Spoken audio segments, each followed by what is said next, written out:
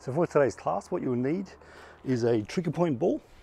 Uh, you can get these from Rebel Sport or most physio places. It's the preferable is to use a, the trigger point ball. Um, if you don't have one of those, or you can use a tennis ball, it's not as effective, um, but eventually get one of these. If you don't have any of those, use a broomstick. You can do a similar job with a broomstick. This is a bit more effective though.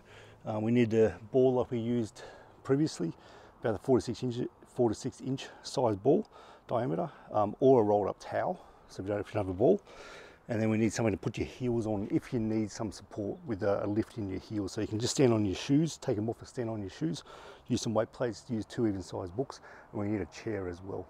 And if you don't have any of those, please don't use this as, as an excuse not to do this session. You'll still get a lot out of it.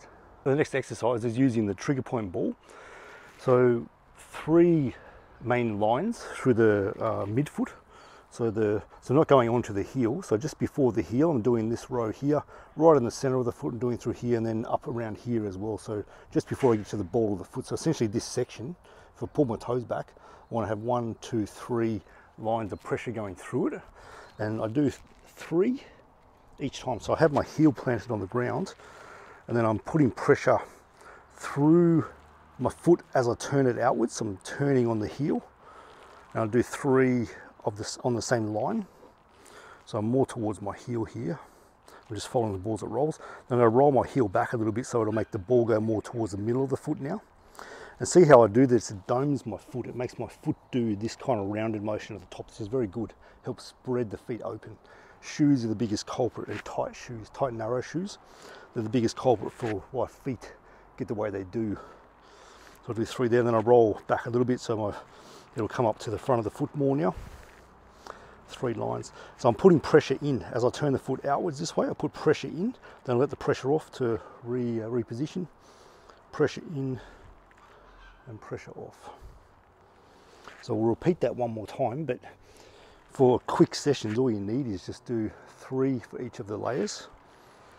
And it puts so much stimulation through the bottom of the foot. The brain really likes this input. We go towards, towards the middle. So a foot needs to be both a rigid lever. When we do push off when we walk, when the foot goes in this position, it has to become rigid to push us off. It needs to be also flexible, movable in different parts of the gait cycle. So a healthy foot, I used to be able to do this, I can't do it anymore, can stand on this in the middle of the foot on one leg with some balance, can stand on it and it's not totally unbearable.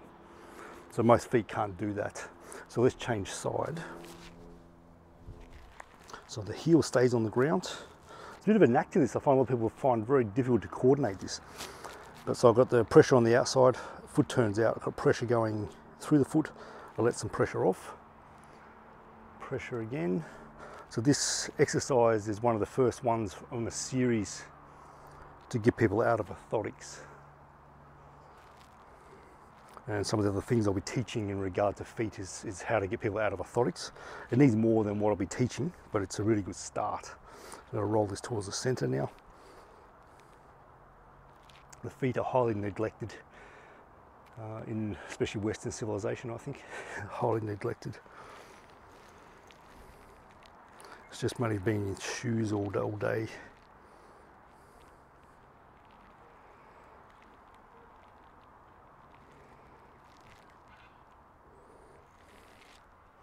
So you can do this Tai Chi training with no shoes. I'll have shoes on because I, I, don't like scrubbing the bottom of my feet when I do this on pavers. Um, but yeah, if you want to get more sensation going through your feet, if you're doing this on grass, for example, it's a really good thing to do. I'll repeat that one more time. Um, just having your feet out of shoes more often already is giving more stimulation, more, more wakefulness, strength building to the feet. Just simply doing that.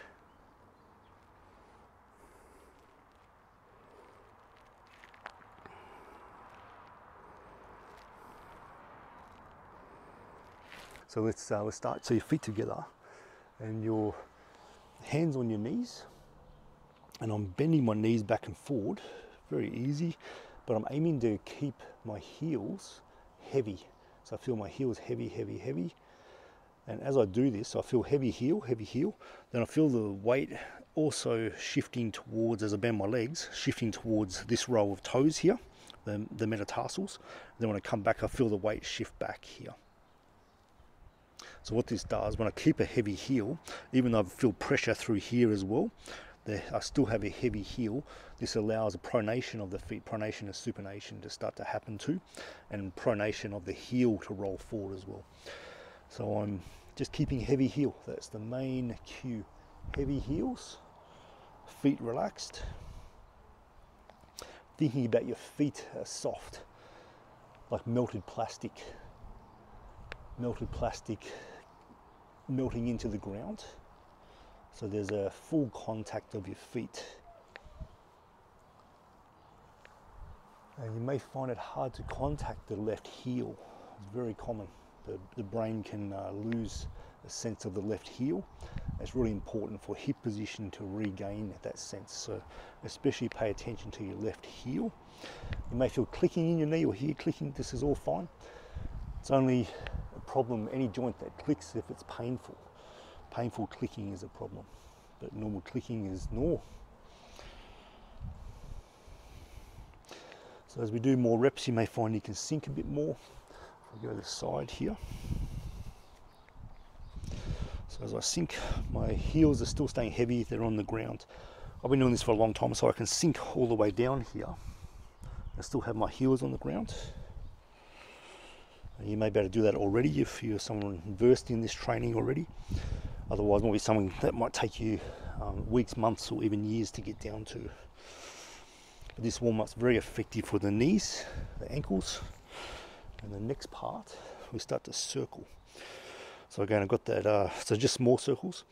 Thinking about my feet like they're melted plastic. So they're stuck to the ground. I'm not making my circles so big that I peel off the ground. Peel off the ground. Peel. Definitely not. or like the feet are like suction cups, suction to the ground.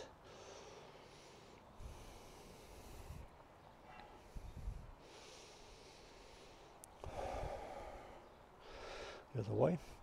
So our limbs move in spiral motions and Tai Chi works with spirals very, very well. So this here is training the spiral motion of the legs. Uh, this exercise is contraindicated when people do a big one and do this big scoop, like uh, old skiing exercise. It's contraindicated there because there's big pressure on the meniscus. Small circles though is very good to do. It's good for the brain to have feeling awareness of this spiral.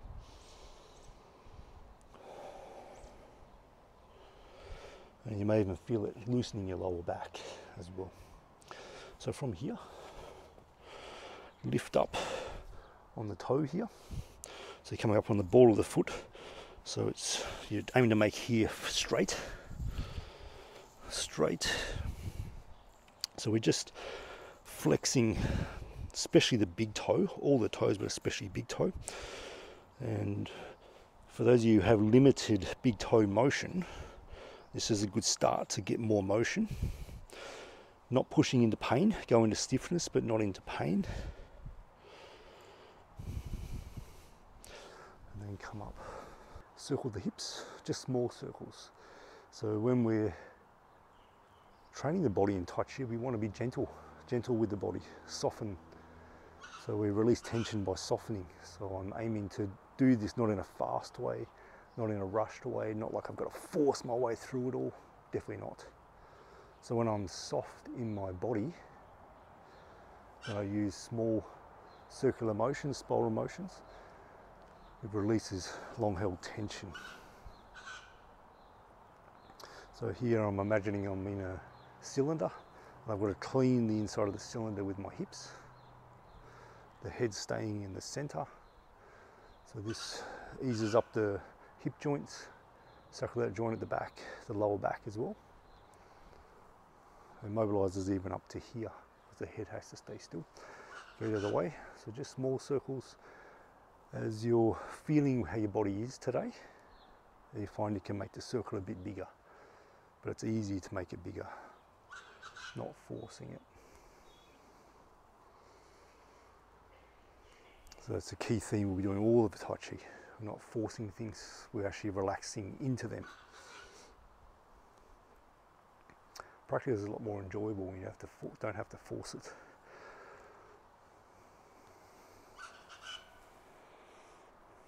Okay, so sitting in your chair, not leaning against the back of it, so sitting on the sit bones. So the bones, uh, if you rock your pelvis back, you'll feel like you're sitting your tailbone. You rock it forward, you'll find you'll find some lumpy bits on the bottom of your pelvis, that's your sit bones or the ischial tuberosity. And I want you to just feel both of those bones. Often the left one is a bit harder to feel as the natural asymmetries in the body. So we're just feeling that both and to feel them evenly. You can actually change the orientation of your pelvis just by sensing that. Okay, so we've got 90 degrees, ideally around 90 degrees, 90 degrees here, ball between the thighs here. And then I've got my feet or my shins so they're parallel to each other. So I'm not like that or doing that kind of thing, parallel. And from here, I'm rising up on the balls of my feet like I'm doing a seated calf raise. Then going all the way up, pushing through the big toe, coming down to the ball of the foot, lifting the feet as high as I can, as hard as I can, rolling through the foot up onto the big toe, so putting pressure on the big toe. Not, uh, not uncommon for the bottom of the foot to cramp, just showing how weak that spot is.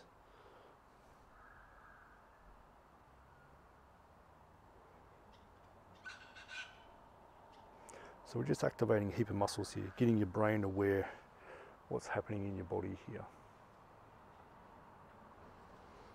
So when I do this movement with my ankle, my fibula, the side bone here, is making that motion.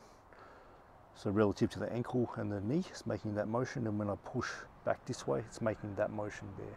So the fibula is doing this movement. So it's important that it can make that motion.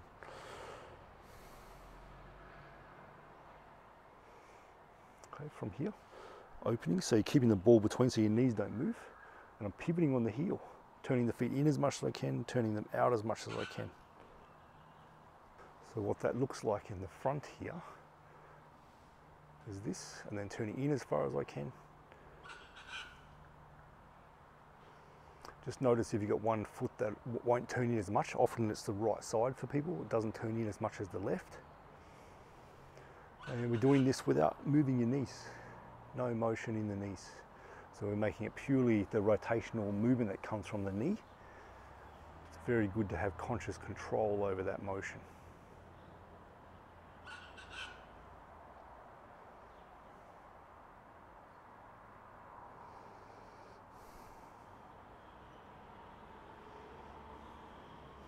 So when we do Tai Chi walking, um, roll, uh, press roll back motions in Tai Chi. This movement is always occurring in the knee. It's just, it's very subtle. So we're just making it highlighted so the body can access it. Good. Next one, the ball between the knees still. So I'm imagining like I've got a string from my belly button here. I pull the string forward and it makes my belly come forward. So it's like I'm arching my back. I'm really trying to arch it out. And then like I'm pushing in towards my belly and I don't want my fingers to push into my belly so then I'm letting it sit back. So I'm rocking back on my tailbone. I get the string, pulls me forward again. Then I'm pushing, I don't want to touch my belly button with my hands. So I sit back. So the motion is occurring from the pelvis here. So it's called lumbo-pelvic control, just means pelvis and lower back control. Can feel really nice on an achy lower back. So all I want you is just about to do this motion. So it's coming through this section. That's where the movement's happening. If you find it hard to figure this out, what people do is this. So you see how I'm moving from the hip, but my whole spine's moving. So I'm just hinging from my hip. So I want you to keep your, your head quite still, sit back, and then pelvis rock forward, when I do this with my clients, they find this hard to get this motion. I grab their hips from the, from the back, and as they go forward, I tip their hip forward, then I pull their hip back, and I get them, just follow my hands. So you might be able to imagine that, someone grabbing your hips, tipping the hip back, then they're to tip it forward, so you just help them out until your body goes, oh, that's it, that's the movement. So if you find this really hard to do, please practice until it's like so easy. Like I don't know why this is in the program. It means that your body's access this movement. Highly important for Tai Chi training. Highly important if you have pelvic floor issues, lower back pain, hip pain of any kind, knee issues, even feet issues. Uh, really collapsed in arches of the feet. You need to be able to do this motion. Okay. Last one is that we're, gonna, we're using this ball. It's why the ball's good. So you can use a rod or towel between your knees, but the ball's good. So I'm going to pull this knee back and push this one forward like that. Then I'm going to pull this one back, push that one forward.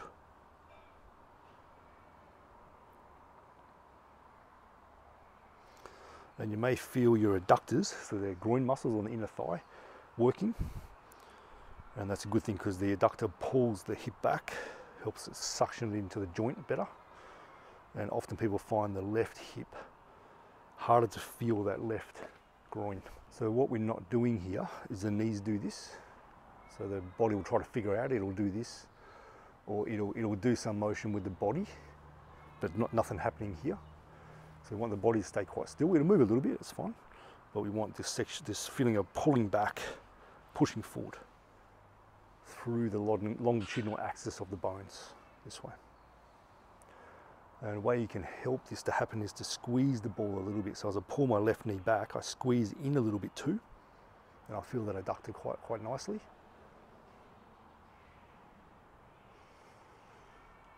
Good, keep going. If this is hard to get, it's really important that your body can access it. And you've probably been suffering for suffering with hip or lower back pain or injury or stiffness for a long time if the body can't access this. So we're freeing up, we're allowing the brain to connect to movements that it would have had as a child. We're regaining it all. So my body's just naturally tuning here because it's working with the rotation. So I'll move into kwa squats. The kwa is the inguinal crease here. It's formed by what's happening with the pelvis. So when I bend my knees, I have a sense of sitting in here, like I'm sitting on a visible stool. The pelvis tucks under just slightly, but not so much that I'm really tucked under this way. And I lose a sense of um, bend here. So here it's like this is straight. I want here to be a bit of a, a bend. So my spine is vertical, the pelvis is a bit tucked under. So that's forming the kwa. The spring in the kwa as I feel the spring go through here and through the knees, through the feet. So even the feet are making this kind of motion here. If I relax my feet, they'll naturally make this spring. The knees will have a spring, force goes through the knees and not into the knees. And I'll make sure here is soft. So I'm relaxing in here, which means I'm relaxing the hip flexors in particular. And then the right muscles come online. So I can spring here. I'm moving here. If I'm just bringing my knees but not here, the body tends to do this kind of motion. So I want to spring. So force can move up and down through my body. We want that. Okay, so we just soften, soften this area here. So that's what the kwa is. And then it's important when we start moving that you can rotate into the kwa, not lose this one, not pushing this hip forward, not losing my spine. If I stay vertical, I keep a good kwa sit here. As soon as I do this, I lose one of my kwa. So the kwa is really important because it prevents overload of your knee. It teaches you how to really rotate properly into your hip, into the leg, connect, spring out of that area. So Tai Chi walking uses the kwa all the time. So what we're what you notice you're able to do over time is that when you move, especially when you sit back that your hip doesn't cock. So I drop this hip, this one rises, that'll cause problems in the knee and the hip itself that it's not this way, that it's not pushed out this way, that it's not back this way. I just have a good control of that kwa and I can relax and now I feel the force in the feet and I feel really spring loaded for movements with my arms now too. So that's the kwa. So we're to activate the glutes here. As soon as we get some glute activation going, it supports the knees. So most people I find need this. So let's go feet shoulder width, then open the feet about 10 degrees, just a little bit. Most people need that about 10 degrees, it's easier. Then I've got a sense of twisting my feet like I'm wrapping my little toe around my heel. or if my feet were to move, that they're going to do that. And I've got that sense of twist. It's maybe only two or five percent of my strength, but there's this torque there.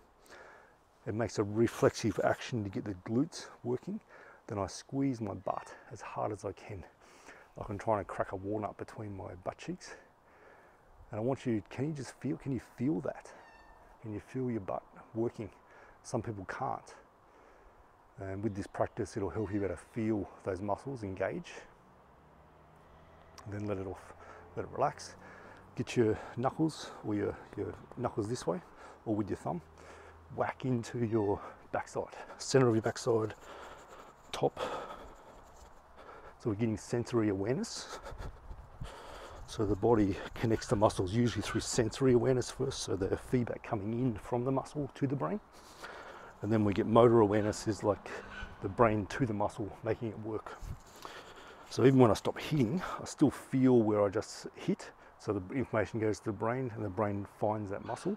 So we do the same thing. So I've got that bit of a twist, then I squeeze them, squeeze my butt as hard as I can, and I can feel that really working, squeeze even harder without pushing the hips forward. The function of the glutes is hip extension, so it'll push your hip forward. We still want the body to be stacked. We don't want to do this. Stacked. So head over the torso, torso over the hips, hips over the feet. Let it off. Let it all be soft. The brain likes finding muscles and then losing them and having to find it again. Whacking again.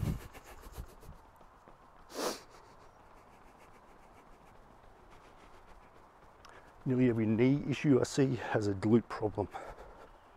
So it's important we get glutes activating here, working. Twist, squeeze without pushing your body forward. Not holding your diaphragm, not we're just squeezing our butts. We're not holding breath. See if you can squeeze even harder. Then let it go. Okay, so let's go into the kwa squat. So if you're really tight in your ankles, you don't have much movement in your ankles, or really inflexible in your hips, I recommend you use the weight plates, or you can take your shoes off and then you can stand on the front of your shoe. So you just arrange your shoes here, and you're standing on the front of the shoe, so it'll give you a bit of a, a heel wedge. Um, it allows you to stay more upright, better sink a bit more, um, and open the other joints, so the hips and the knees, without being limited by the ankle and over time you can take the, the height down until you have no, no extra thing helping you. So when we do this, we have the feet shoulder width, feet a little bit turned out like we just did, about 10 degrees.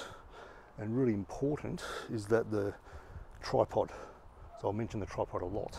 So the center of the heel, knuckle of big toe, knuckle of little toe, 50% weight, 50% weight, 50% weight. And yes, we're looking at 150% here that has weighting all the time, evenly weighting all the time. So we be aware of that. So I'm stepping on heels on there.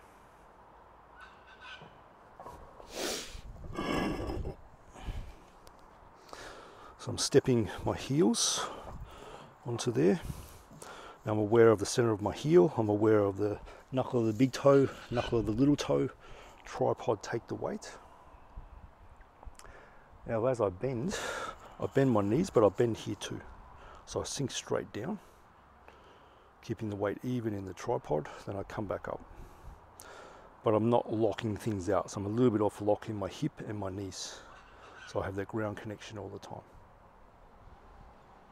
Okay, so what's really important with this kwa squat is that I have a little bit of a tuck of my pelvis, just a tiny bit, so I tuck under if I tuck under too much, it looks like that.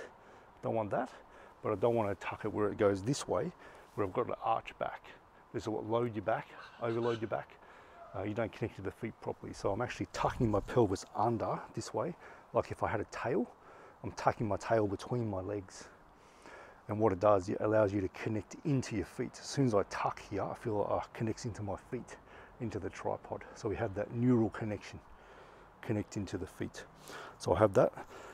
When I bend now, as much as my knee goes forward, my backside goes back. Really important this happens. So if you make this happen, as much as the knee goes forward, the backside goes back, and keeping the weight even in the tripod, you'll have a really good squat. You won't be overloading anything. The problem comes when the knee goes forward, people bend, knee goes forward, the pelvis goes straight down. See how there's nothing going backwards here? This is loading my knee like crazy. There's more of a tendency of the front of my forefoot to take the weight, not much in my heels. It's good for certain purposes. For what we're doing here, we want to really connect into the tripod as much as the knee goes forward, hip goes back, which means I sit into here. And let's do some reps here now. So not locking out, letting the belly stay relaxed, shoulders, arms relaxed. And then I'm aiming to relax my legs as much as I can. Just keeping pressure in the tripod, knee go forward, hip go back. The body will have a natural lean forward, that's fine. It's meant to do that.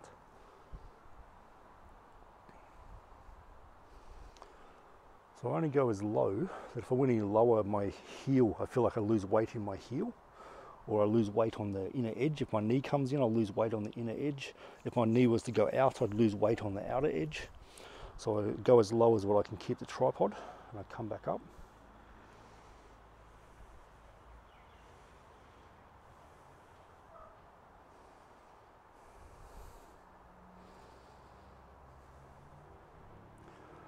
Or I go as low that if I go any lower, it feels like I want to tense everything up.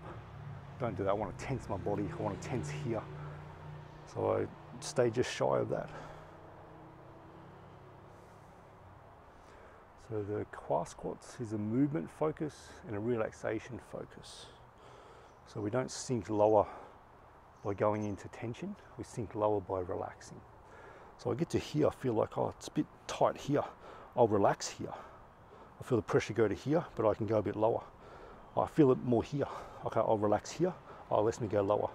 I feel it here. I'll relax that and let me go lower. So I go lower by relaxing, not by going, I just want to go low, so I'll just push it.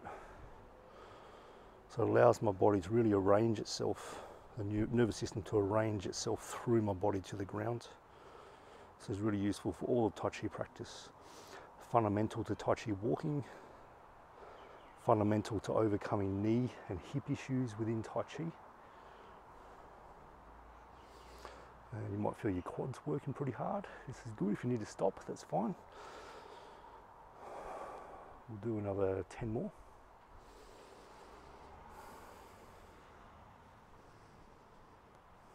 About this speed is good. So I'm feeling too fast, a bit hard to feel. That's why Tai Chi's done so slowly, so you can feel every single millimeter of the movement. What's the body doing? Is it tensing? Is it connecting when you move? Phase through phase of movement.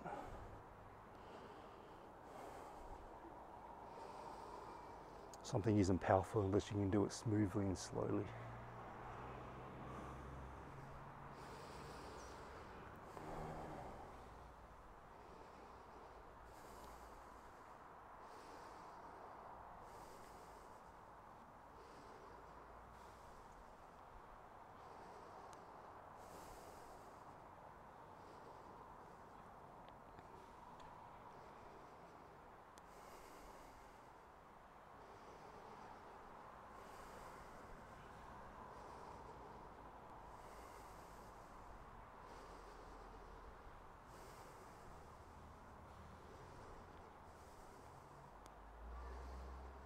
Last one. Very good. Give your legs a shake, just like a dog shaking off water off its fur. So letting the muscle fibers open.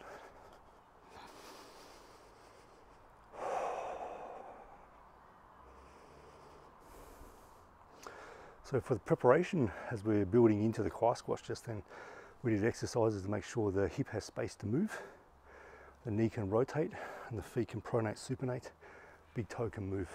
So it allows what we just did to be more effective and less overload of constantly overloaded positions and joints.